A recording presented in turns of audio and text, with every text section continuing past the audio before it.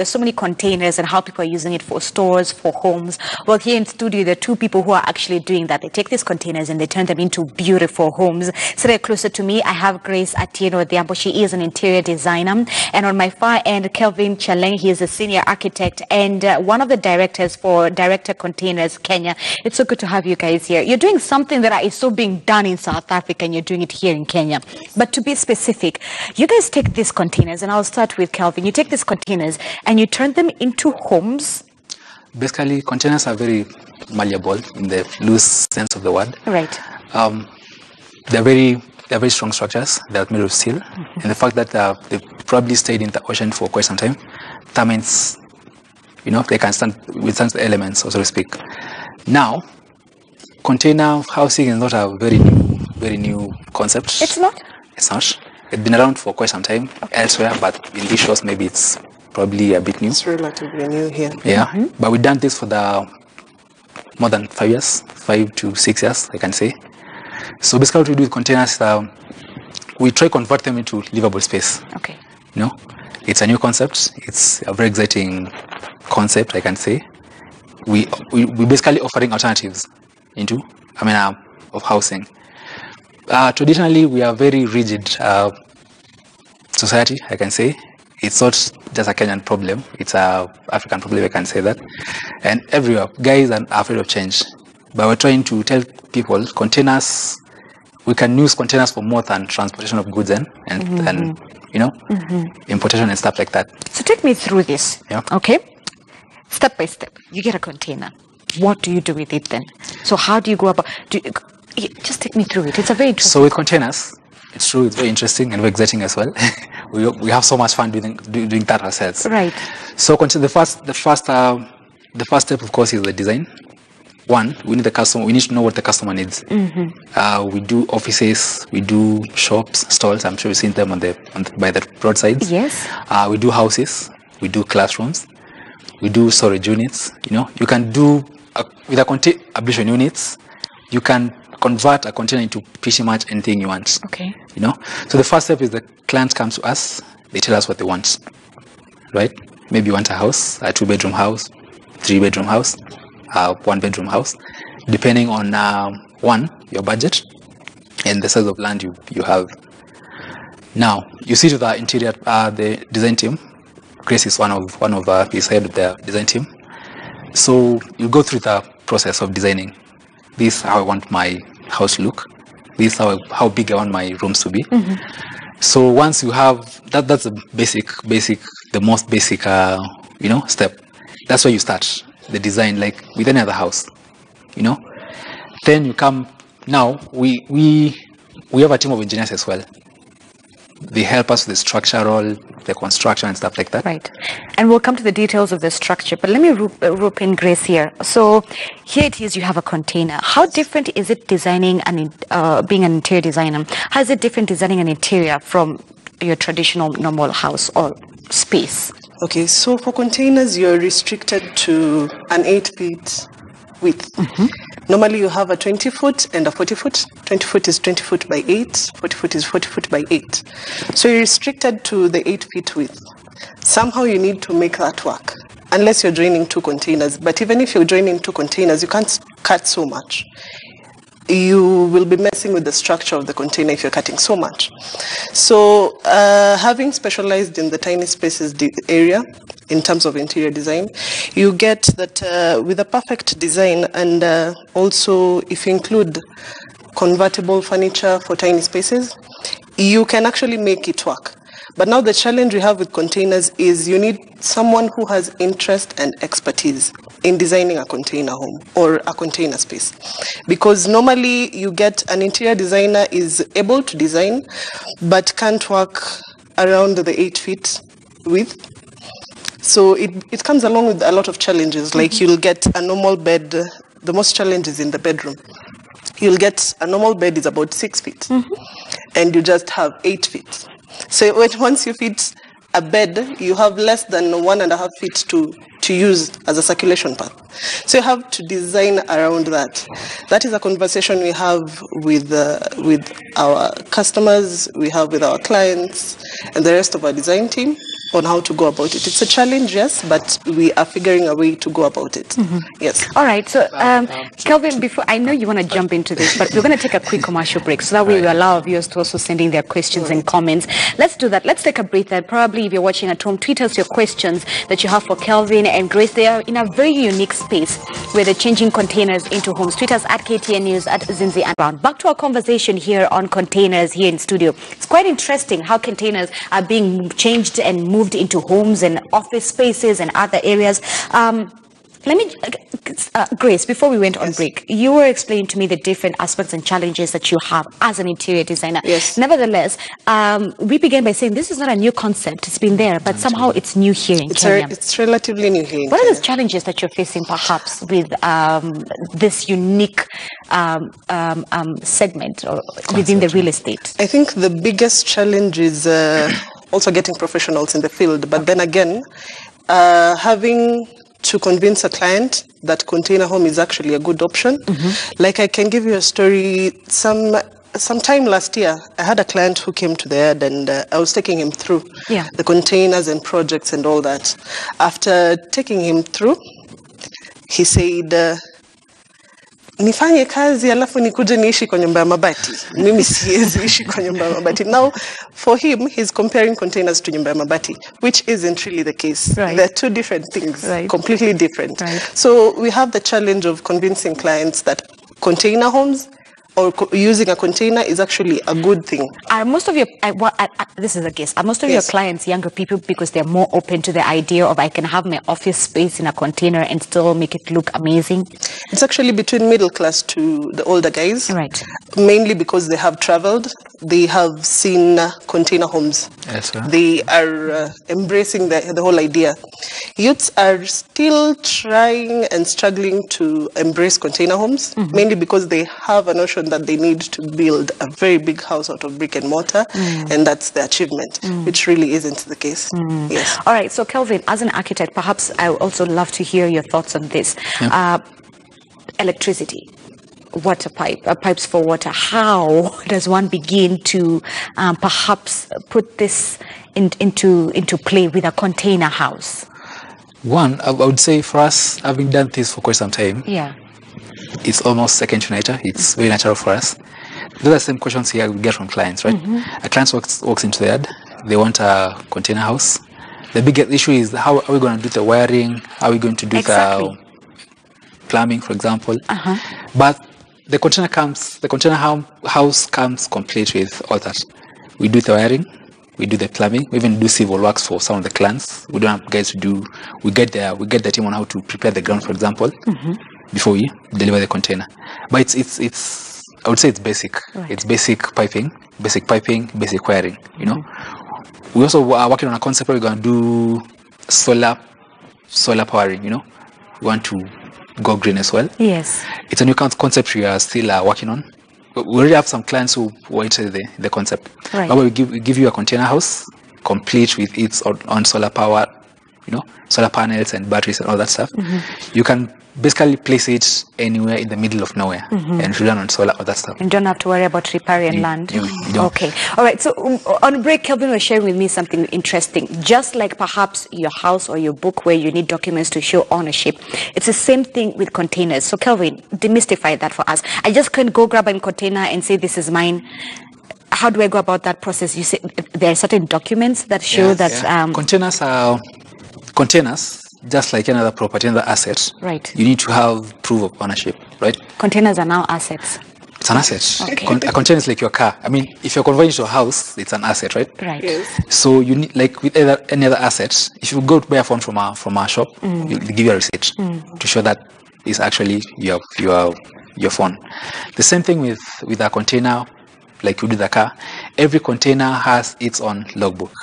So when you get a container, make sure you also have a logbook. Yes, or uh, so-called uh, in some quarters, it's called an interchange. Uh-huh. You know, Why is that important? this shows that all containers belong to the shipping lines, right? So if you buy a container from a shipping line, they need to show that they tr- transferred the container from themselves to you. In this case, to us, because we are the, with the, with the retailers, right?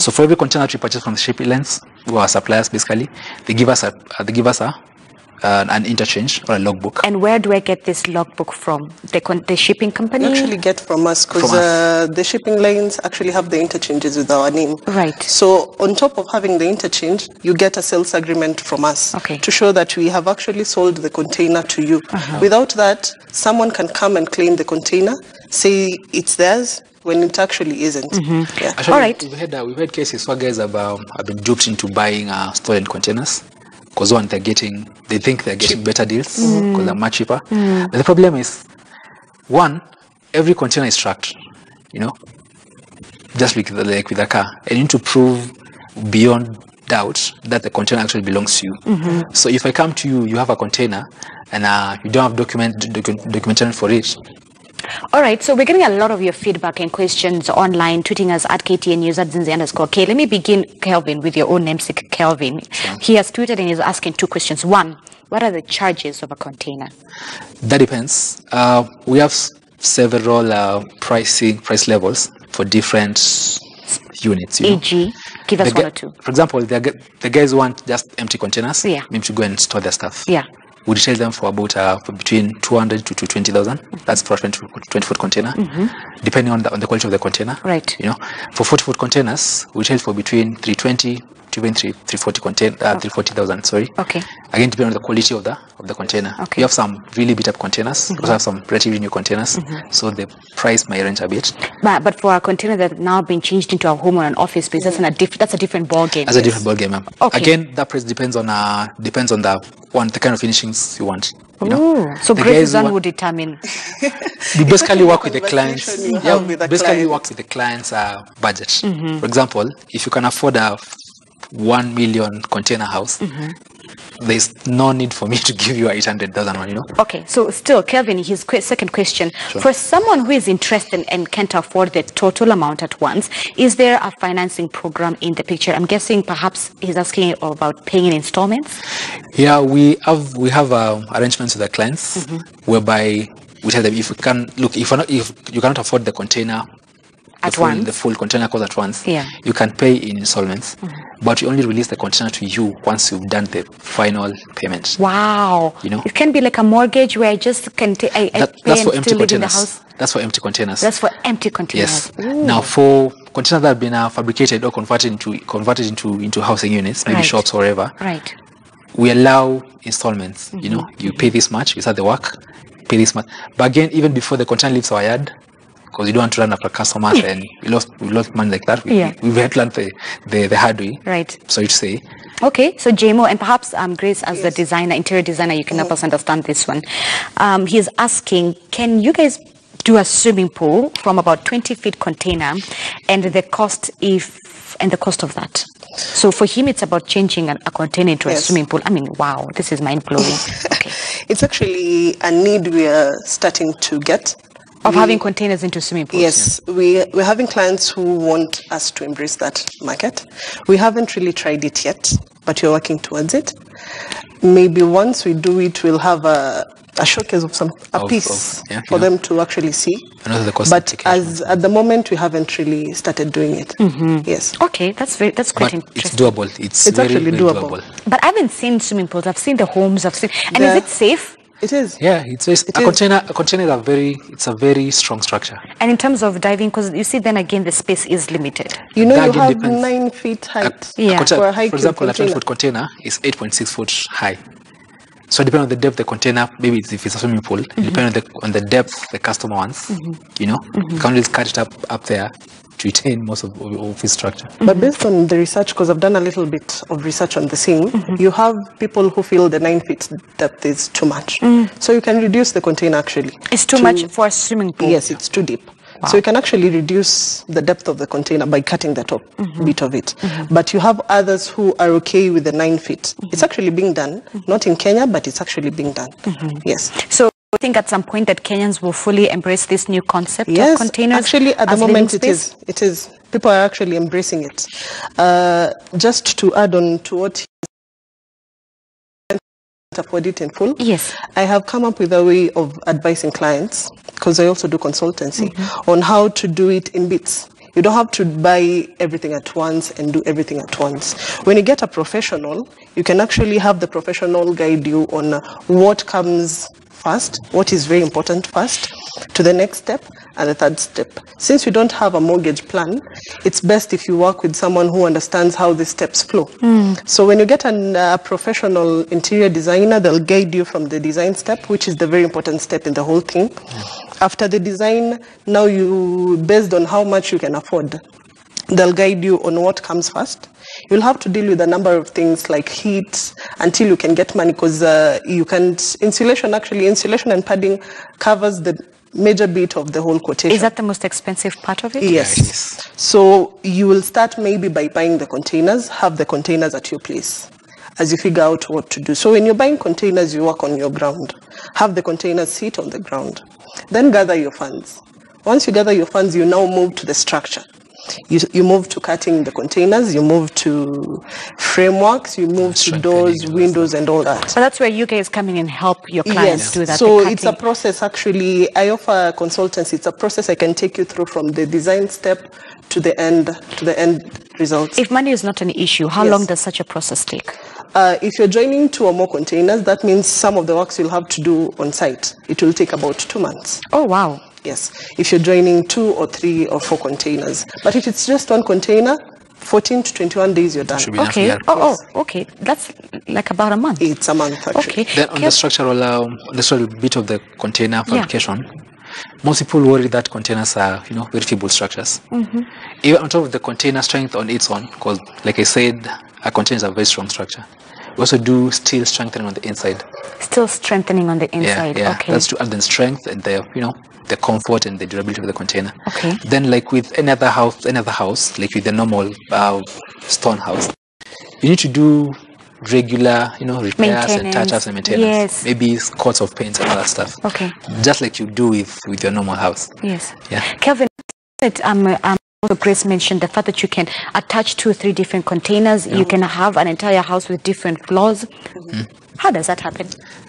Now, like I said, talking about it sounds very natural to me. Yeah. you know? Help me understand because I'm guessing, are you stacking up container on top of a Yeah, container? Yes, yeah, we we do, we do do. that. So what we do, basically, what we, what determines the size of the, the size of the house is one, what the customer wants. Right. The guys want bungalows, maybe. You want a mansionette, for example. A mansionette with containers. Yeah, yeah, just That's a thing. use something. you know, so the thing is, um, depending on what the customer wants, that's the biggest guide on to what you're going to make for the customer. Mm-hmm. What they would really, really want. Secondly, their budget, like I said, mm-hmm. and their space of land. Mm-hmm. We, we've done for big houses, for example, we need to join more than a single container. You know, like she said, most of the work will be done from site now. The cutting, the cut ups, and the strengthening, the welding up and stuff. You know, so we come to site, place the containers on the ground. Then, according to the design she did with you, being the client, right? Now we do the cut ups and all that stuff, and the strengthening, and the insulation, and the mm-hmm. wiring, and the plumbing, and all that stuff. Mm-hmm. Yeah, it's basically very doable. It's very doable. If Grace, before you jump in, um, still, does you mentioned you said before even coming with your budget, come with your mm-hmm. plan. Does that mean that as the the customer, I should have come up with, with an a, a, what do we call it? A floor plan of how Not I want the house to Not look like necessarily. The guys who come to us, we take them from the from the beginning. from the get go. They tell you now. 'Cause Give we me what have you a have. design team. Because you have a ah. design team as well. When you get a design team, actually, what I think he meant by that is every client knows what they want. Yeah. Every client has a picture of what they want. So they come to you, voice what they need, and as a design team, sit down with you. We guide you through. Sometimes you might come with a plan that is not applicable in a container home. Mm-hmm. So we help you through. Because another thing that he might have forgotten to mention, start up containers too much. Sometimes you also We need, when you choose the wrong containers, let's start from choosing the wrong containers. When you choose the wrong containers, and then you have a poor design, you'll end up cutting the whole container. That affects the structure of the container, When the you s- integrity of the container. When you say choose the wrong container, are Yes. there types of containers? Yes, there are. You have high cube and low cube. You have 40 feet that has a channel on top and others that don't have a channel. So when you're choosing a container, you actually need to understand the design first. How much are you going to cut? If you can avoid cutting so much, good for you. But if you can't, you need to know how much you're going to cut mm-hmm. and exactly where you're going to strengthen. Because at, at, the end of the day, when you strengthen so much, it a container home being affordable because you'll need to buy a lot of metals and it is not just a one by one or a two by one. At the end of the day, are container homes um, more affordable than having to go buy a house? That depends. But that depends. And don't you think at some point with popularity um, gaining momentum, Yes. that at some point a stone house will be, uh, uh, you find a container house more expensive on the market compared to a stone house? Do you foresee a- that happening? Yes, but beauty of a container home is, uh, as I said, you can do it in stages. If you have the right person guiding you through, they'll actually design uh, a design that will you can able to convert it. If you beauty of containers is you can always convert it without actually affecting any other thing or the integrity of the foundation or or that. So you can decide to have one floor, then move to the other floor and the third floor. But you need to have the right design so that when you're moving to the second floor, it does not affect the ground floor. All right, because of time, I'll let Kelvin have the last Mm-hmm. say. Kelvin, perhaps as an architect, um, what's so different between designing a home, a traditional home uh, with stone vis-a-vis a container home? Uh, like she said from the beginning, uh, containers are very limited in terms of space you're working with. Right.